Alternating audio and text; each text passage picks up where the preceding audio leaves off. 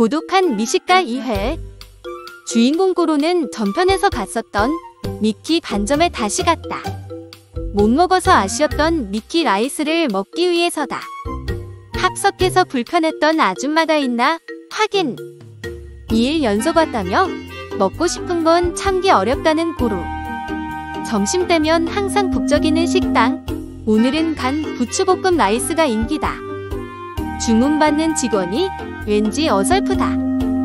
주방에선 간 부추볶음 라이스가 한창이고 이걸 유심히 바라보는 고로 메뉴가 나왔는데 미키 라이스가 아니라 간 부추볶음 라이스다. 고로는 망설이다 메뉴가 잘못 나왔다고 말한다. 실수로 메뉴가 바뀐 걸 안 직원은 난감해한다. 죄송하다며 다시 해드리겠다고 하지만 고로는 눈앞에 간 부추볶음 라이스에 홀려버렸다. 오늘도 먹으려던 미키 라이스 대신 간 부추볶음 라이스를 먹게 된 고로. 하지만 먹자마자 대만족이다. 원래 미키 라이스랑은 인연이 없었을 거라며 위안 삼고 간 부추볶음 라이스에 holic한다.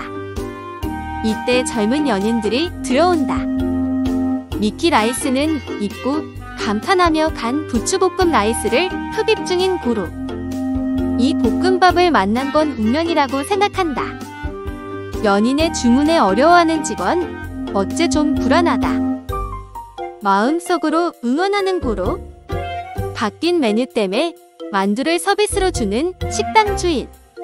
만두를 보며 인연이란 이상하고도 재밌다며 미소를 짓는다. 날 언제나 배고프게 하는 고독한 미식가.